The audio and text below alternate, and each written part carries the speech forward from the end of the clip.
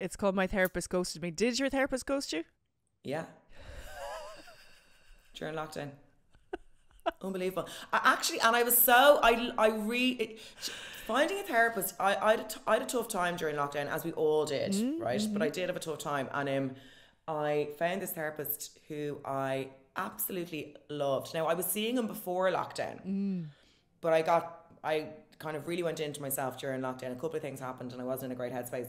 Um, and he just disappeared. And I was so devastated because Sorry so for laughing. I'm sorry. no, but it's it's hilarious. Like, who's you fucking care? I didn't even know they could do that. I was like, are you not legally obliged to listen to my shit?